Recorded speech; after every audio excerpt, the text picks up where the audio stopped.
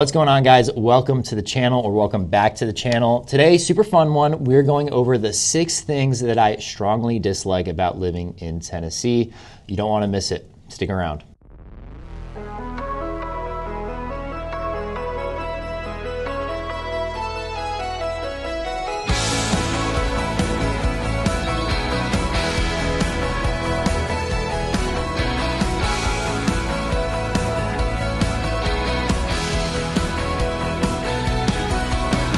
What's going on guys? Evan Barron here. And if this is your first time to the channel, you're gonna wanna hit that subscribe button and hit that notification bell. On this channel, we go over all things Chattanooga, what it's like to live, eat, sleep, play, and work. And I am a licensed realtor. So as much as I do love making these videos, I love helping you guys with your real estate needs even more. So in any of the ways down below, feel free to contact me and I'll be happy to help. With that said, in no particular order, we will start this video off with number one, the high pollen count. In Chattanooga specifically, we are seated in a valley between the Appalachian Mountains and the Cumberland Mountains.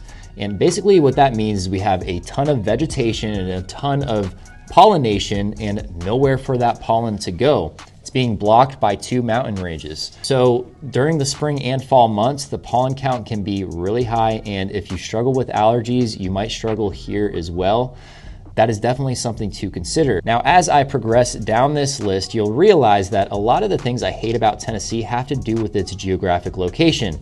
Now, it's funny because the thing that I love about Tennessee is because of its geographic location and it being seated, you know, in the mountains. With that said, we will hit point number two, and this may come as an obvious one to some of you guys, but Tennessee is landlocked. There is no ocean. We don't have an ocean, but we do have mountains, we have lakes, we have rivers, we have streams, we have reservoirs. We have all those things, which is fantastic, but it's not the ocean. Uh, it's a completely different vibe from the ocean. The beach and the ocean is actually not that far away. You can go to Gulf Shores, Alabama, or you could go to Destin, Florida, and it's really only like a six hour drive. It's really not that bad at all. So if you live in Tennessee, you just have to expect to drive a little bit longer and drive out of state in order to make it to the ocean. And point number three, why I dislike Tennessee is the amount of new building that is going on. Uh, it's a love and hate relationship, right? Like the way that they build these these new builds is they really just try to fit as many single family homes, townhomes, or apartment buildings in as small of a location as possible. So if you have an acre lot and a developer is developing these new communities, they're gonna fit as many as possible. And you know, with that, you get smaller yards, right? Chattanooga itself is growing a ton. I know Nashville is experiencing some growth, not as much as Chattanooga. Knoxville is experiencing probably as much growth as Chattanooga. And with these new builds, you're going to have a lot smaller yards. They're more cookie cutter. And if you are looking for a new build, I would highly suggest doing some research into the builder. Sometimes it can be a little bit iffy with the homes. I always recommend, even if you are buying a new build, get an inspection. Uh, always get an inspection because sometimes new builds try to new builders try to cut corners, and you really just want to do as much research as possible into the developer and into the builder so that you know nothing falls through the cracks.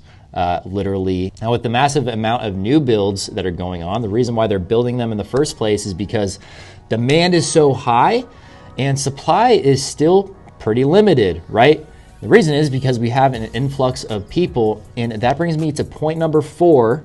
That is the growing amount of traffic. Nashville, Knoxville specifically, tons of traffic all the time. Uh, it's getting really annoying. I personally used to live in Miami, so it's definitely still not as bad as Miami. Uh, but, you know, it's getting there and traffic is getting worse. Chattanooga, we have a little bit of traffic, but Chattanooga itself is still pretty small from this side of the city to this side of the city, you're still not traveling that far of a distance. The only place that you're going to experience a lot of traffic really is there's a fork that goes either to Ch- Chattanooga or Atlanta. There's always traffic there. Uh, it is growing a little bit. It's still not as bad as Nashville or Knoxville. Now, on the topic of traffic, something to consider as well when you're not traveling on the highway, the back roads in Tennessee can be a little bit iffy as well if you're not used to it. I mean, you're going to be driving on windy roads that don't have much light. The ditches are going to be massive, and sometimes you're going to be driving on the side of a mountain with a cliff right next to you. And again, there's not going to be that much light.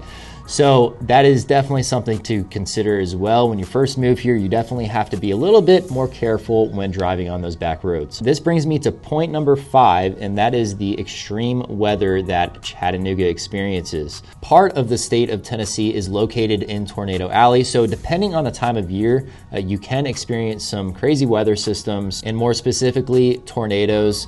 Uh, tornadoes happen. They don't happen all the time, but they do happen. It's something that you should be aware of.